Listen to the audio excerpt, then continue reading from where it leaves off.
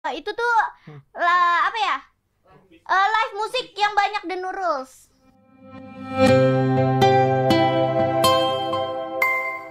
Belakangan ini fenomena yang dikenal dengan sebutan The New Rules menjadi perbincangan hangat di kalangan Gen Z. Istilah The New Rules ini muncul setelah konten kreator Hal Daryanta membahasnya dalam acara Pornhub yang dipandu oleh Deddy Corbuzier dan Vidi Aldiano. Mari kita simak apa sih ciri-ciri The New Rules? Anti Alkohol Club. New Rules membedakan diri dengan keputusan mereka untuk tidak mengonsumsi alkohol. Sebagai gantinya, mereka lebih suka menikmati minuman yang sedang tren seperti americano atau berbagai varian es kopi lainnya. Nama The Nurul's tidak lepas dari mbak-mbak berhijab yang memiliki kegemaran karaoke dan seru-seruan bersama teman-teman di live musik. Gaya hidup ini menjadi daya tarik tersendiri bagi mereka. Berbeda dengan anak-anak clubbing, The Nurul's lebih memilih berjoget sambil bernyanyi dengan lagu-lagu yang terdapat dalam playlist top 40.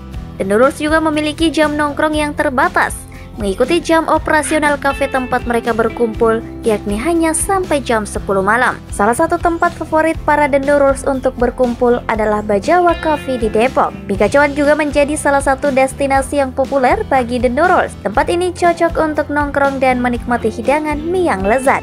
Bukan Starbucks, tapi janji jiwa juga udah jadi pilihan yang tepat bagi Nurul's untuk menikmati kopi yang bukan dari sasetan. Seblak menjadi hidangan yang paling disukai oleh The Nurul's di berbagai tempat di Depok. Fenomena The Nurul's menciptakan gaya hidup baru di kalangan Gen Z yang lebih mengedepankan kebersamaan tanpa harus terlibat dalam kegiatan malam yang terlalu berlebihan. The Nurul memberikan preferensi terhadap minuman non-alkohol dan tempat-tempat yang nyaman. Dengan begitu, The Nurul's juga memberikan alternatif gaya hidup yang menarik bagi mereka yang mencari keseruan tanpa harus meninggalkan nilai-nilai tradisional dan kesehatan. Música